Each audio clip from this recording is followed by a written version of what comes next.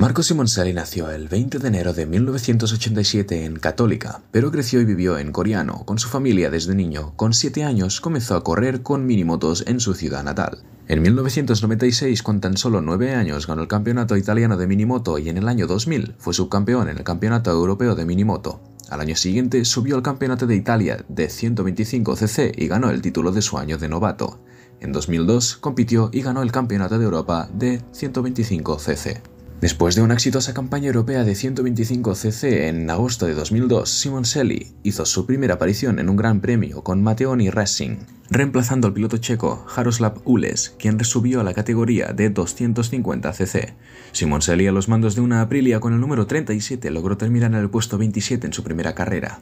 En la siguiente carrera, en Storil, anotó sus primeros puntos en el campeonato al terminar en el puesto 13. Sin embargo, no pudo anotar ningún punto en las siguientes cuatro carreras y terminó la temporada con tres puntos en seis carreras.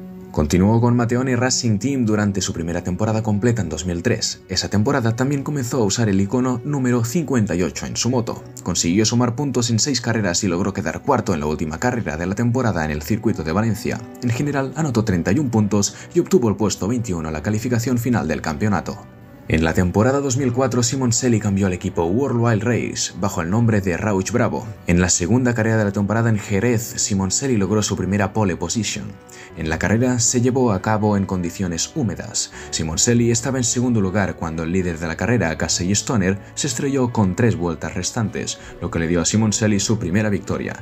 Sin embargo, esa victoria fue su único podio de la temporada. Logró sumar puntos en otras siete carreras y quedó sexto en la mejor de ellas. Terminó en el puesto 11 en la clasificación final con 79 puntos. Simoncelli continuó compitiendo para World Wild Race en 2005, esta vez bajo el lema no cable It Race.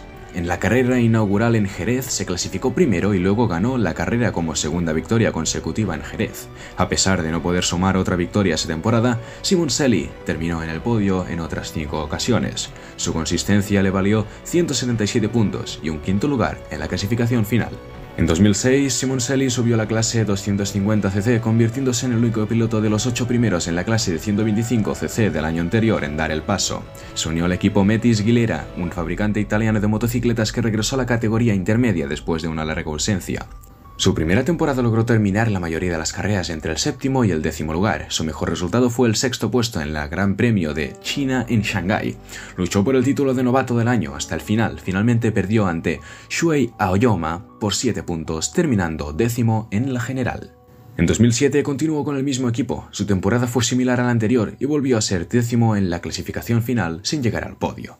Obtuvo su primera victoria en 250cc en el Gran Premio de Italia celebrando un Muguello el 1 de junio de 2008, tras chocar contra Barberá, ganar la carrera por 3 segundos. El 8 de junio de 2008 se hizo con la victoria en el Gran Premio de Cataluña tras adelantar a Álvaro Bautista en la última vuelta después de que Bautista se abriera a falta de 5 curvas para el final de la carrera. El 19 de octubre de 2008 ganó el Campeonato del Mundo de 250cc de 2008 tras acabar tercero en el Gran Premio de Malasia en Sepang. El 25 de junio de 2009 se confirmó que Simon Selly ascendería a la categoría reina para el campeonato de MotoGP de 2010, después de aceptar correr con el equipo San Carlo Gressin di Honda. En la temporada 2011, Simoncelli fue ascendido a montar una Honda de fábrica como parte del equipo Gresini, mientras que Hiroshi Aoyama montó una Honda satélite para el equipo. Se predijo que Simoncelli sería el paquete sorpresa de la temporada. Terminó quinto en la carrera inaugural de la temporada en Qatar, antes de caer desde el liderato de la carrera en lluvia en Jerez. Consiguió su posición de salida más alta hasta caer en la primera vuelta de la carrera de Estoril. Durante el Gran Premio de Francia en Le Mans, Simoncelli chocó con Dani Pedrosa mientras luchaban por el segundo puesto. El choque resultante hizo que Pedrosa se rompiera la clavícula y Simoncelli recibió una penalización de paso. Y finalmente terminó quinto. Simoncelli consiguió su primer podio en la categoría reina con un tercer puesto en la República Checa. Su mayor resultado en MotoGP fue el segundo puesto en el GP de Australia en Phillip Island. El 23 de octubre de 2011, Simoncelli estuvo involucrado en una colisión con el estadounidense Colin Edwards y su compañero italiano Valentino Rossi durante el Gran Premio de Malasia en el circuito internacional de Sepang. Iba en cuarta posición durante la segunda vuelta, pero la moto de Simoncelli perdió tracción en la curva 11 y comenzó a deslizarse hacia la grava. Los neumáticos fallaron y su moto se desvió a través de la pista hacia el camino de Edwards y Rossi, con Simoncelli colgando por los suelos. Simoncelli fue golpeado en la parte inferior del cuerpo de Edwards y en la cabeza por Rossi quienes no pudieron evitar que sus motos lo golpearan. Simoncelli perdió su casco y Edwards salió catapultado de su moto. La carrera fue inmediatamente marcada con bandera roja.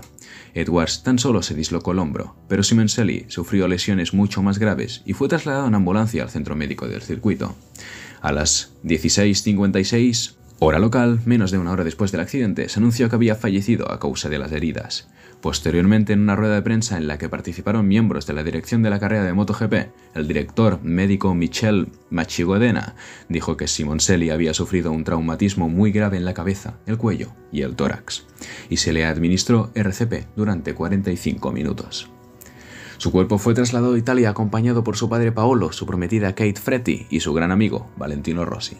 La relación entre Marco Simoncelli y Valentino Rossi fue una de las más conocidas y apreciadas en el mundo del motociclismo. A pesar de que ambos eran rivales en la pista, también eran muy buenos amigos y se apoyaban mutuamente en sus carreras. Simoncelli y Rossi comenzaron a conocerse cuando ambos comenzaron a competir en el Campeonato Italiano de Motociclismo a principios de la década del 2000. A medida que avanzaban en sus carreras, ambos se convirtieron en dos de los pilotos más destacados del mundo y comenzaron a competir en el Campeonato del Mundo de Motociclismo. A pesar de que eran rivales en la pista, Simoncelli y Rossi siempre mantuvieron una gran amistad y se respetaban mutuamente. El 3 de febrero de 2014 se anunció que Simoncelli sería incluido en el Salón de la Fama de MotoGP y se convertiría en la leyenda número 21 de MotoGP.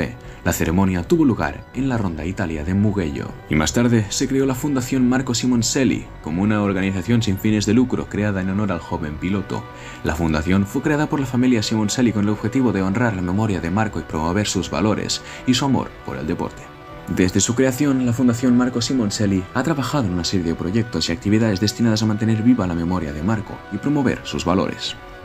Además de sus proyectos, la Fundación Marco Simoncelli también ha trabajado para apoyar a jóvenes talentos en el mundo del motociclismo y ayudarles a seguir los pasos de Marco en su carrera.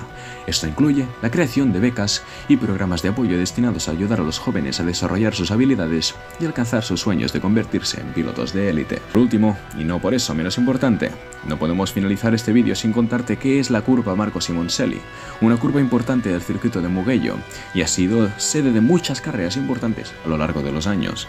Es una curva técnica y requiere habilidad y precisión para ser tomada correctamente. Aunque es una curva peligrosa, ha sido el escenario de algunos de los momentos más emocionantes y recordados de la historia del motociclismo. En honor a Simoncelli, la curva Marco Simoncelli se ha convertido en un lugar de peregrinación para sus fans y ha sido el escenario de muchos eventos y actividades de homenaje al joven piloto. Cada año, miles de personas visitan la curva para rendir tributo a Simoncelli y recordar su legado en el mundo del motociclismo. Esto ha sido todo por hoy. Si te ha gustado el vídeo, apóyanos con tu like. Es gratis y esto nos ayuda a crecer un montón. No olvides activar las notificaciones para que no te pierdas ninguno de nuestros vídeos. ¿Y tú? ¿Qué opinas del triste final del piloto? Déjanoslo saber en los comentarios. Hasta la próxima.